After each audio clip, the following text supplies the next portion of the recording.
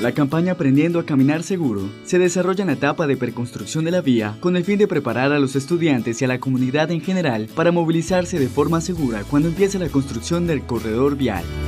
Se busca que los muchachos de una manera interactúen eh, se hace todo un montaje de lo que hace parte del espacio público, como una vía, una obra en construcción, en donde ellos interactúan, conocen la señalización, conocen la señalización en la vía, eh, cuáles son los tips y las prácticas que ellos deben tener de autocuidado al transitar por la vía.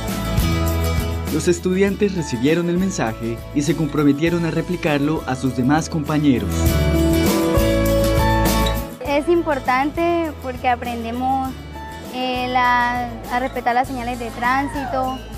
Eh, aprendemos a que cuando vamos a cruzar por una calle miramos para todos lados.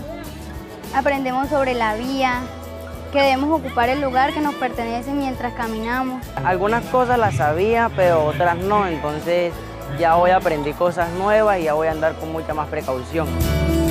Son muchos los estudiantes que hoy se han beneficiado con estas campañas.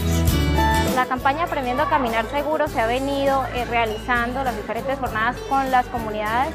También estamos eh, vinculándonos con las instituciones educativas. Es importante que ellos participen de, esta campaña debido a que los, jóvenes, los niños y las niñas son los que generalmente transitan por la vía y asumen un, un rol de peatón.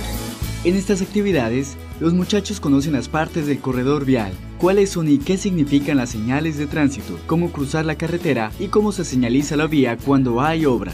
Al final de la actividad, los asistentes escriben su compromiso en el telón de la movilidad segura.